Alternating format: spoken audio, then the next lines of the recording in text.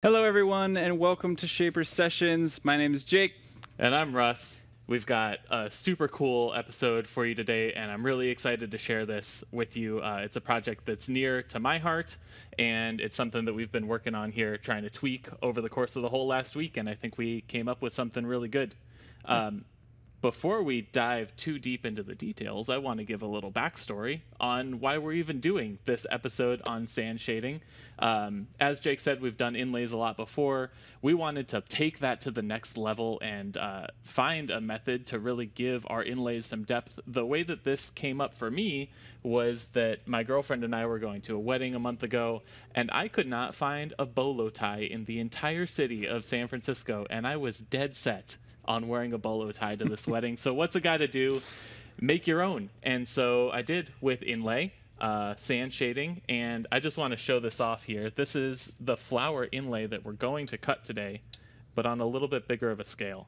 So you can see that's a columbine flower. That's the state flower of Colorado, where I lived before I moved here. And it's a little bit difficult to tell, honestly. It's very subtly shaded, but we've got a couple examples here that I cut earlier this week of some other ways that you could shade a similar shape, for example. And uh, we'll show those off, but what do we think about talking about the history of sand shading Sure. more broadly? Because it's got a, a deep history in woodworking. Yeah, we put together a couple of slides to talk about that too, but Mhm. really where you see it most often is in federal style furniture. Um, And specifically in something called the shaded fan inlay, which we did Mm-hmm. uh, our first Our dive first ever into it. sand shading project here. I'll actually show this on the bench cam so you can Yeah. get another close look at this. So that is your kind of classically shaded fan, and uh, that that element shows up in a lot of Federalist furniture. So if we wanted to show off a couple of components of that Mm-hmm. On the slides, Yeah, we've got the slides that we can pull up here, Goose. We got Goose on the switchboard here today. Here we go. Some cool federal furniture. And uh, you see here a lot of these real classic elements that you see if you look at American furniture from, what would you say, the 1800s Yeah. or so. Um, a lot of this was done with inlay and marquetry. Uh, you see a lot of natural elements in there. So we've got a rose on the corner leg of this desk, and then we've got what they call bell flowers, are those three-leafed uh, flowers that are dripping down the side of the leg.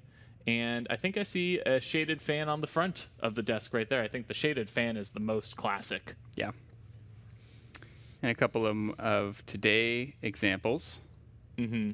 modern examples. This was actually a box submission for our 2022 box challenge. Mm-hmm. Um, Jack Mock. Jack? Mausch. Mausch. And Yeah. this one both just like totally blew us away. Yeah, How- 100%. on Earth, and he takes this into a lot of his other work as well. hmm Yeah, I'm really impressed with his work. It gives a lot of 3D uh, dimensionality to the shape, to the box, and I was blown away by how it's wrapped around that organic form. Yeah.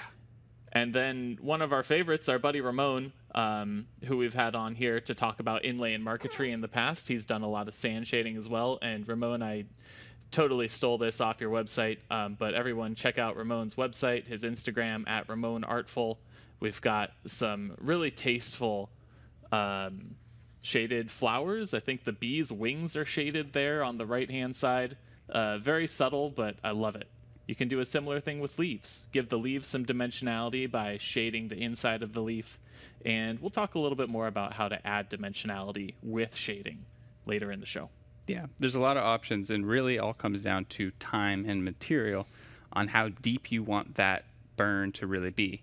Um, and of course, there's a lot of different ways to get kind of a burned texture. There's heat gun, there's a torch, but the nice thing about sand shading is it's consistent throughout. Like it actually to the core of your piece will change the color. So there's a little bit of room for shaping after the fact. So um, and the other cool thing about sh- uh, sand shading is you can probably do it with things that you already own. Yeah, absolutely. Um, all that we used today is a hot plate, a unused old Teflon pan, and the one thing that we didn't have was a bag of sand. Okay, Uh, a so- bag of fine sand is So, a bag of fine sand, but you can find that at almost any hobby or craft store. Um, but there are a couple uh, unique characteristics of the sand that you want to keep in mind, right? Jake, you bought the sand for this project. What did you look for when you bought this sand? As fine as you can get. Um, we went with a decor sand, kind of for used for sand art. Um, really, the finer the grain, the better, because that is that means you'll get more of a consistent gradient, more even gradient of heat. Um, if you go to the beach and grab the sand off the beach, you're not going to get that same aspect. The granules are too big. So, um, I just picked this up on Amazon, decor sand, and I believe Ted has a link to that. It's uh, it's nice and clean. You are not going to get any of the uh, biodegradable materials that you might find on the beach, which is a big plus, Which right? just start to smell weird, real weird when you have it cranking in a hot pan. Uh, ours just smells weird because our hot plate uh, we just bought new this week, so it's off gassing just Yeah. a little bit. But uh, it's all good. The reason why we got that hot plate is because we've done this in the past, and the first hot plate that we bought was a little underpowered. Honestly, Mm-hmm. it was a thousand watts, and I shaded maple veneers of a similar size to this, and they took about 20 minutes Yeah. each, which is a really long time with the hot plate cranked all the way up. And with this 1500 watt hot plate, which Ted also has the link to, uh, these veneers are done in something more on the order of two to four minutes. And I actually did a test um, to find out what length of time I wanted to use for my veneers. So we can pull that up. I've got these samples over here. We can show those on the bench cam maybe. We've got one minute, two minutes, three minutes, and four minutes. And you can see as the time lengthens, um, really between one and two minutes is where it really sets off. And then between three and four minutes, not much has changed. But uh, you really want to make sure that you hit the mark on how much shading you want. And uh, if you do a test, that's a that's a nice, quick and easy way to find out. We're a big fan of the scientific method here. Exactly. Always start with some scrap, figure it out, and then attack your your final piece. Mm-hmm. Another part of the com- or another component to this whole thing is the pan. We went out and bought a super cheap Teflon pan. I think it's an aluminum pan, so the I will I have noticed that the heat is not as uniform as you might want. You can even see that. Yeah, on you can even see that. So if we do this up close, I'll take this to the origin cam. You can see that on the right side here, it uh, it's even all the way across, and then you get a dip here where it's much less shaded on that right side, and that's consistent across all four test pieces that I did. Yeah. Um, one of the best things would be for this is to find a cheap cast iron pan. Go to your local thrift shop or somewhere where you can just find a beat up one. Again, you're not gonna. I would not use this for sand shading and then use it for food.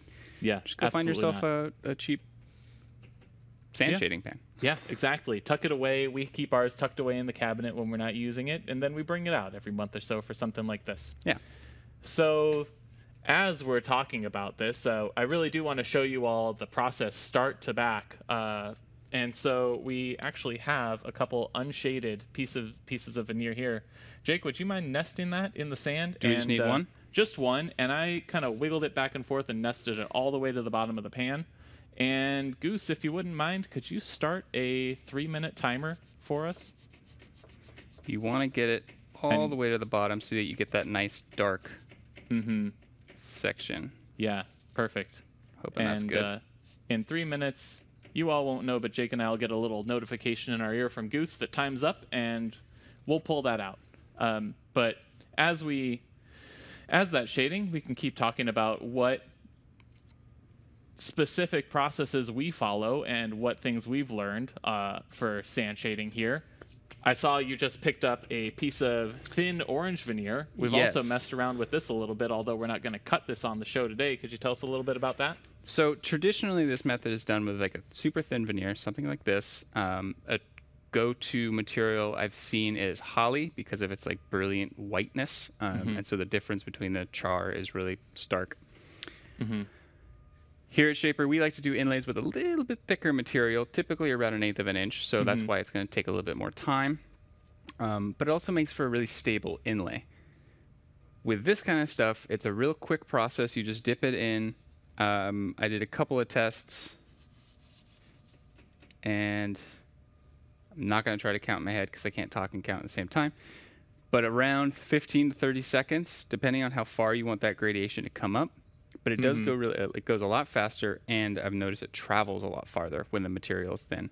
When you have a denser material, Yeah, it doesn't quite creep up as much. absolutely. The species of wood has a lot to play in that effect as well. Very true. Um, so you see over on the left side, I have a couple of samples here um, that I did this week before the show, and one is completely unshaded. Two more are shaded in maple, and a third you might not tell by looking at it, but it's shaded in cherry actually. Um, and the reason that that's a little tricky is that it's the very light sapwood of the cherry, and what that turned out as Heyo. since the cherries oh boy Too Sin- far. that's good that's good though that's a nice gradient on that one Yeah. let's uh let's hold this up to the origin cam here this is about 15 or 20 seconds on this 142nd of an inch veneer here um, the cherry is much less dense than the maple and so it shaded very differently. And so if you would pass me the cherry and one of the maple samples looking up close you can definitely see the difference in this. I'll hold this one up to the origin cam. First this is cherry. The char on this one is blacker i think. The gradient is sharper and it has a little bit of a green tinge to it whereas the maple here I think has a more brown black char to it. Um, the gradient is wider, and overall, I think it didn't burn as much because that maple is denser. Yeah. So you can play around with that. That's another aspect that you can play with when you're practicing sand shading because there's a lot of practice that goes into this and experimentation. I heard a timer, so I'm going to pull this out very carefully. Yeah, there we go. That looks like great. that? I like that. Yeah, that's good. Careful because they're hot. Very hot. Uh, we do I'll have tweezers. I didn't tell you that I brought tweezers over for this. So you can see just after three minutes, hold this one up to the origin cam here. You've got that nice gradient across, and I flipped this around backwards, but you can see just like we expected from before, we've got a little dip in the gradient there, but that's okay. We can work with that. Now, you might notice that we have shaded everything before we've cut in this example, uh, and that's another factor that you can play around with. Do you shade before or after you cut? And there are pros and cons to either, right? Yeah, it seems like for like this flower design, you'd want to potentially do it after, so you had a little bit more control of where it is. But you got to think about how deep you have to bury in the sand. So if you have a little part, it might be kind of difficult. And because of origin and the vision system, we have the ability to see what we're working on and place our files exactly where we want that gradation gradation to be. Yeah, exactly. Which I think is the best way to go about it. And also, you notice some movement too, right? Right. Yeah. So the one thing that I learned when I cut my bolo tie, so I cut these parts first and then actually sand shaded them after the fact. And if we go back to the origin cam here, you can see these gaps or these dark lines between the petals of the flower. Those are shrinkage. Um, I actually test fit this before I sand shaded it, and it fit exactly line on line. I used offsets to get a nice tight fit. And then after uh, the parts were sand shaded, they had lost so much moisture in the process that they shrank.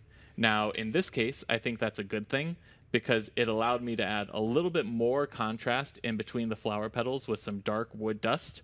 I just glued that in.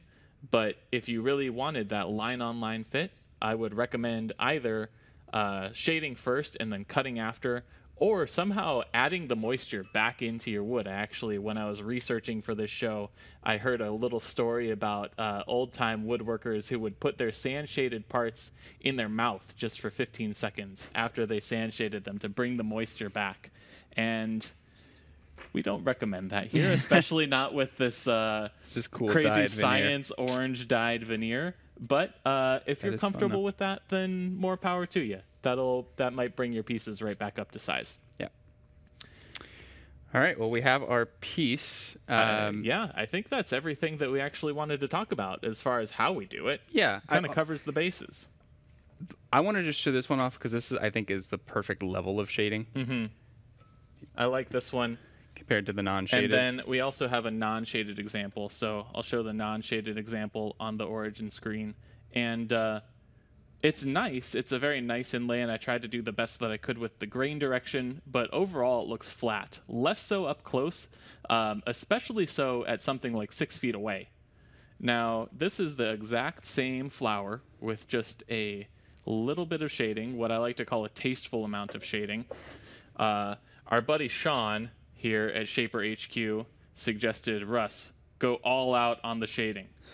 and this is what the all out shading looks like. So I'll call this the Sean method.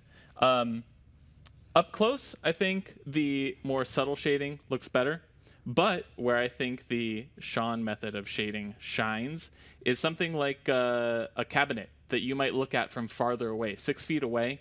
You really actually need more contrast in the shading to make Yeah. it pop. So different shading for different applications as well. For the top of a jewelry box, I wouldn't want to go so hard on the shading. I would want to keep it definitely subtle. Um, but for something that you're going to look at from farther away, you can go a little harder on it. Make that char a little bit darker. Yeah, and for this one, uh, the general size is actually sized for a belt buckle. We're gonna uh, hardware hasn't come in yet, but we are going to in- inlay this into a belt buckle. So We're going all Western today. It's Tying it all together. I'm gonna wear the bolo, and Jake's gonna wear the belt buckle on the next session. Just you watch. Um, so, with all that said, we're gonna cut this whole project start to finish with Origin today. It's pretty quick. We're gonna show you one of my favorite things about Origin, which is that you get to place the files on screen as you go with an image of where that shading and where that grain is. So that'll really help you work with that shading and use it to its fullest effect. Um, and it's going to honestly be kind of quick today because we're not going to do things like gridding. Um, I'm pretty much already set up with Workstation here. We're going to highlight that one feature that we don't use as often as I would like, which is really using the Origin camera and that scan image to frame what you're doing, which I think is like really one of the greatest features. yep, So uh, let's get it going. I already have Workstation all set up here with the shelf height and everything. I'm just going to apply some double-sided tape to my workstation shelf. If you want to know more about setup, then please go back and watch our Origin Pro Tips session, which we filmed two weeks ago, and we'll go into everything you want to learn about setup and more. Got a double-sided tape.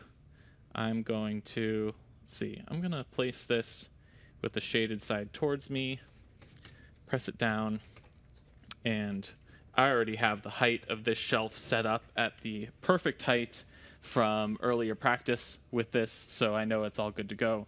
I can ride Origin over that surface and there are no dips or anything.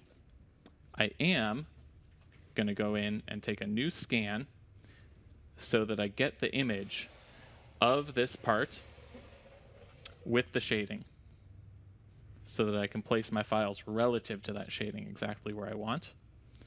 Quick question on scanning.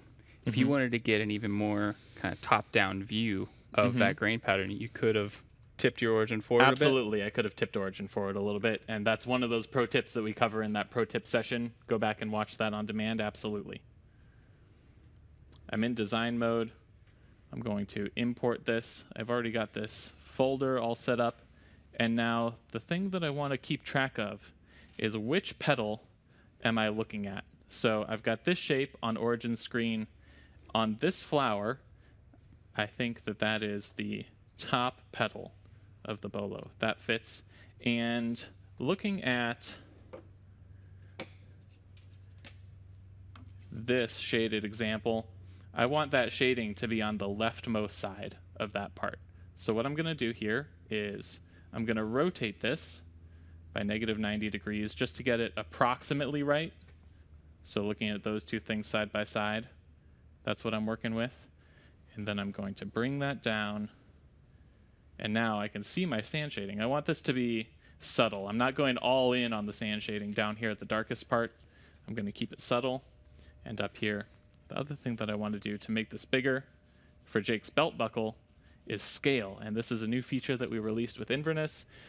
When I say new, I mean almost a year old at this point. If you haven't updated to Inverness, our latest software release, please do so. You're missing And, out. uh, it's life changing. You get the scale feature. So we're going to take this from a bolo to a belt buckle without having to go to the computer and modify our files. So I'm going to place that right there. and I'm going to continue. Petal one, petal two. We're going clockwise around this flower, and I want this shading to be on this side of this one. So again, I'm going to rotate this by, let's say, negative 45, scale by 2, and I'll place that here. Import petal 3. This one's already facing the right direction for where I want it. I'm going to place that one here. Petal 4.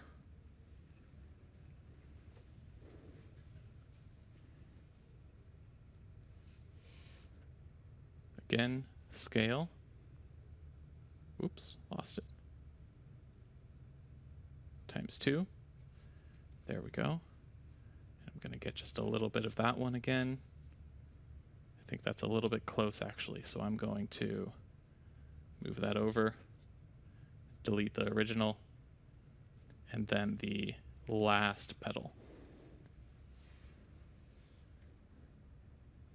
Again, times 2.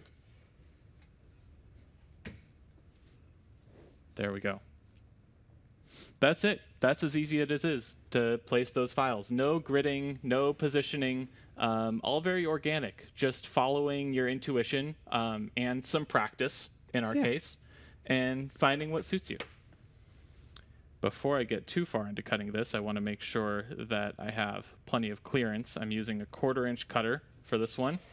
Eighth inch cutter. Eighth inch cutter. That's exactly right. Misspoke. Always remember to Z touch. And I forgot to tighten the spindle collar. But it's okay because See, it Origin still happens to us. I know. So always remember to tighten your spindle collar, everyone. Um, it does happen. You'll get a bad Z height and you'll get a chattery cut. Let's try that again.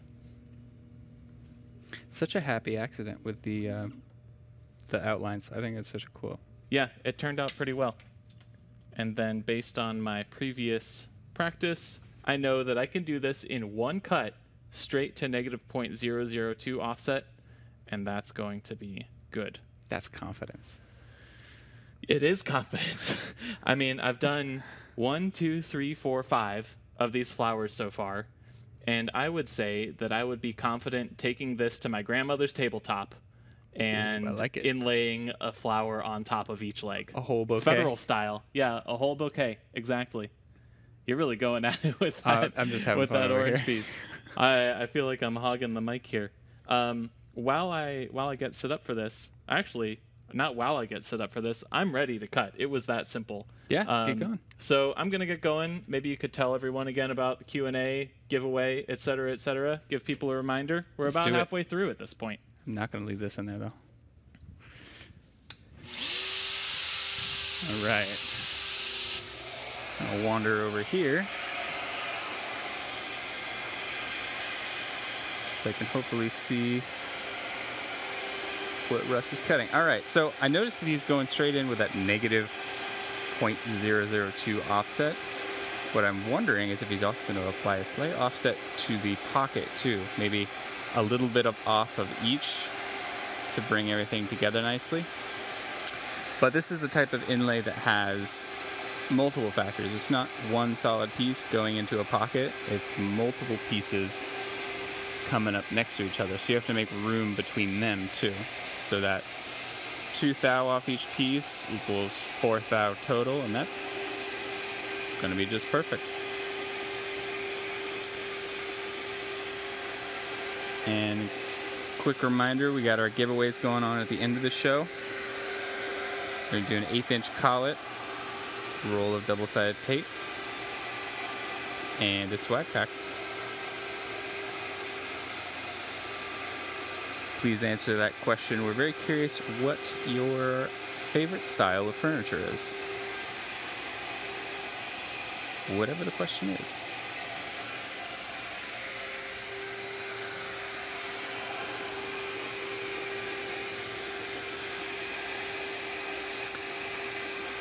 You'll notice too when you're starting to work with thinner materials,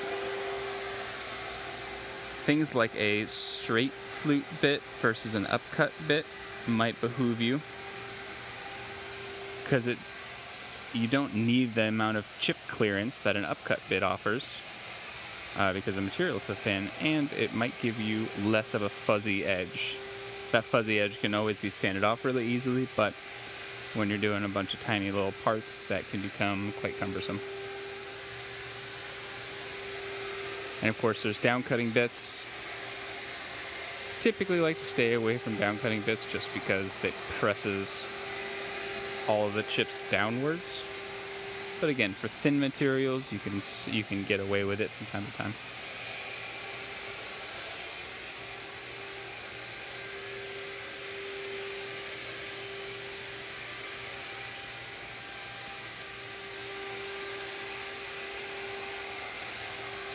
And we highly recommend if you are looking to get into inlays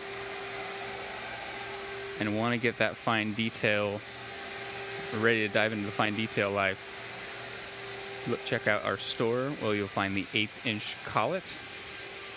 And that opens up a whole new world of eighth inch shank bits that you can buy at a variety of small sizes. All right, we're all set. Cowbunga. We got that on the workstation cam. Let's uh, let's peel this up. I think the one thing that I did forget to bring today was the uh, the palette knife for the scraper, but I didn't press this down too hard, so should be able to just bring that right up. That's not too bad. Thank you, Jake. We got that, and let's just take a look at this first piece. Hold that up to the origin cam here. Very subtle shading but you can tell the difference between that subtle shading and just a plain piece of maple here. So it adds just a little bit of texture to your inlay, but not too much. I'm a subtle guy. I'm not an over the top guy. I'm a subtle guy. So I like just a little bit of shading, just a nice little touch. Peel these off. And my process for cleaning these off has been to hit them with that stiff-haired brush, stiff bristle brush. There we go. And uh, and then to hit them with just a needle file, not even sandpaper, Mm. even just a little bit of needle file to take any remaining burr off of the part because I don't want to change the dimension of the part at all. I don't want to soften it. I just want to That is knock the little fuzzies off, you Do you- know? Do you feel confident with me doing that while you cut the pocket? yeah, Yeah. absolutely. For anyone that's wondering, Gordon Brush Commerce. These are really wonderful, th- th- tough bristle brushes. We have a ton of them around the shop. Great for engraving. Yeah, and we just get those on McMaster-Carr, right? I believe so. I Mhm. hope. I don't know. Throw throw Ted a curveball if you have that link saved somewhere. Perfect. Peel this double-sided tape off. I can't tell you all how much I love this double-sided tape. We're going to stick a little bit more down and then just zip out a quick pocket out of a piece of walnut that I have here for this bolo tie or for this uh, what's going to be a belt buckle inlay. We're going to shape this after the fact because we don't have the belt buckle here with us. So we're going to cut this out of a solid block and then Jakey's going to have a little bit of sanding to do next week, but he'll deal. There we go. That's pretty good. Drop the shelf down. I always like to level with the support bar here. Bring that shelf back up so that it's nice and flush and square. There we go. And you could either add to scan at this point or make a new scan to scan this walnut in. I'm just going to make a new scan. It's a little bit easier for me to do that. It gets rid of all of your old designs as well at the same time, making a new scan. Whereas adding to scan keeps a lot of those cut paths and design files. So I'm just going to clear those all out by making a new scan here. And then I'm going to take my design, Bolo pocket here, scale it up again, times two. And we just want that flower, so it's not a big deal that the rest of it is overhanging the edge. I'm just going to drop that right in the middle. So you can see we've got a pocket here. Once I cut that pocket out, I'm going to change that to an inside cut, and then we'll just do a nice trim of the inside of that flower. Bring it right to size. Before I do that, I'm going to switch though to my quarter inch cutter just to maintain the process that I did earlier. The eighth inch cutter would absolutely work. It would leave a nice clean surface, but I used the quarter inch cutter when I was practicing this earlier this week, and your offsets are dependent on not just your material and the design file, but if you want to maintain your offsets from project to project with the most accuracy, I recommend using the same cutter too, because you never know um, if that might, the stiffness of the cutter might influence that cut a little bit in the pocket or in that finished cut. So I'm going to make sure that I use the exact same thing every time. Don't want to remove that. I must just brushed that while I was changing the spindle. All right, perfect. We've got that design file in. I am going to change my cutter diameter to a quarter inch. Z-touch.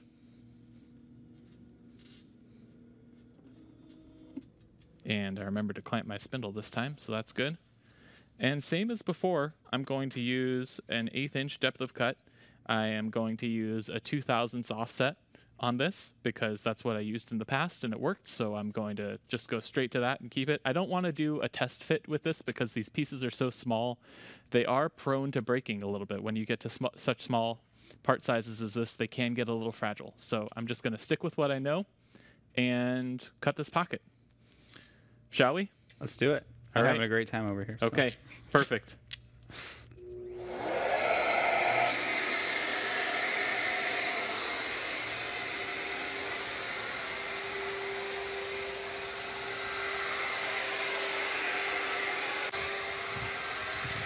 All right.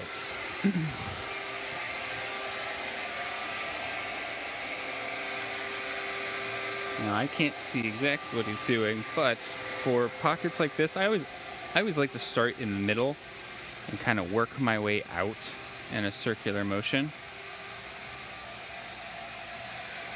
You'll also notice this design has kind of a little island in the middle, the center of the flower. Is a really good tactic too when you start getting into larger inlays um, and you need a little bit of support for the bottom of origin to ride on. Maybe incorporating whatever it is that you're inlaying into and creating kind of an island. An example of that is the 12 pointed star inlay on Shaper Hub. Whole middle section is just supposed to be left behind.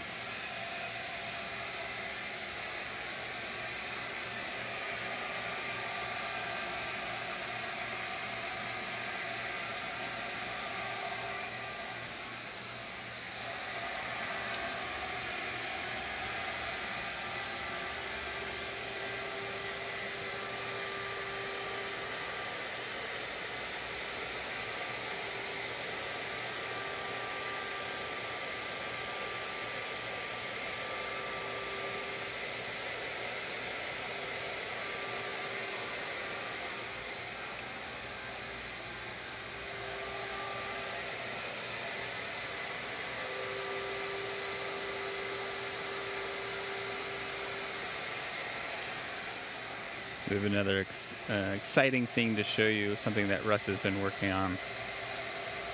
I believe he has, uh, he, he made his own hand tool.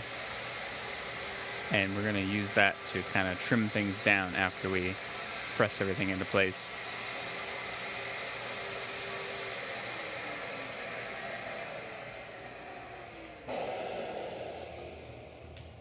Okay, not too bad. A little fuzzy. That's to be expected when you're going across the grain. You can see I've got a lot more fuzziness across the grain than I do when I'm going with the grain. Um, and we should pare a little bit of this out with a chisel also because we've got a little bit of fuzz down here where I must not have gotten quite tight enough with the pocket. But I want to make sure that all my inlay pieces stay nice and flush. And I think Jake's coming to save me with a little piece of sandpaper here too. Perfect. So we'll just finish this off and you can see that edge quality really pop. There we go. Another hit with the vacuum. Peel this off. Love having this nice sharp putty knife for removing things from double-sided tape and you can see it just releases super cleanly. And that's what we're looking at for the pocket right there. Nice clean lines. Um, how are the petals coming jake? Petals done. Okay. Um, hope you can remember which side goes up. well we've got a couple examples here. They are pretty tricky the bottom one especially but most of these most of these are pretty directional. Let's see this little one. Yeah that's correct right there. I'll just lay these all out. So we're going to put a little bit of glue in here. We're going to glue this whole thing up right now. We're going to put a little bit of glue in this pocket brush it around a little bit. Actually while i'm organizing these you can do that. We'll press it all in. We'll plane it off because the fit should be like spot on. These pieces aren't going to be loose at all. They're just going to be held in by friction. They're going to get solidified as that glue dries.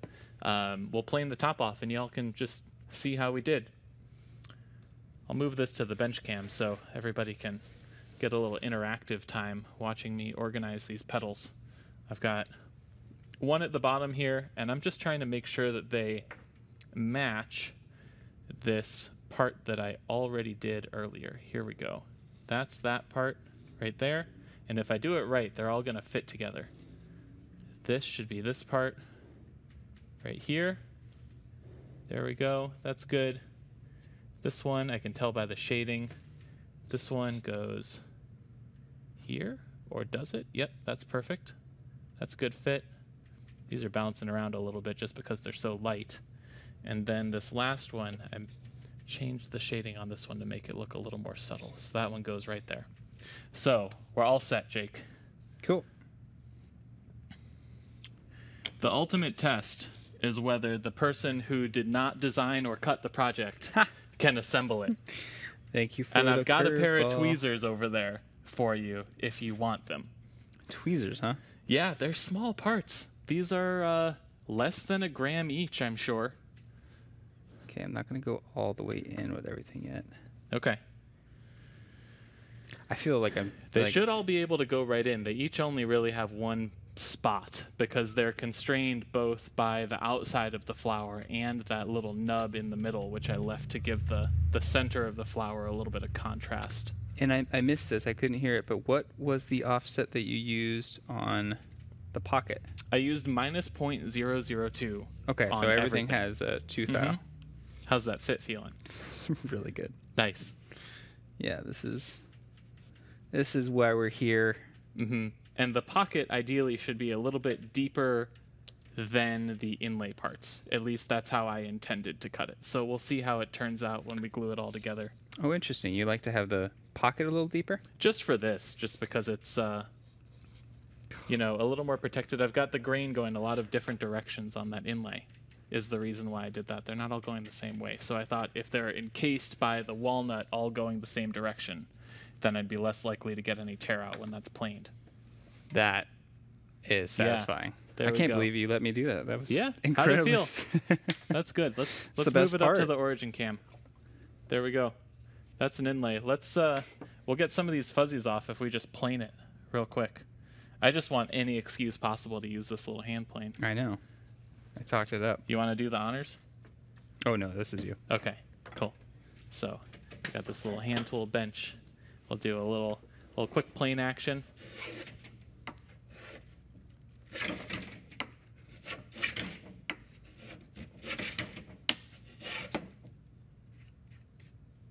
We go. Sweet. That is a tasteful shade. Mm-hmm. Oh, I lost a little bit on this one. That's why I wanted it to be under the under the uh, walnut. Y'all can see that. Learn from my mistakes. I I think if we plane that down just a little bit more, that tear out would go away. Scrape it or sand it always.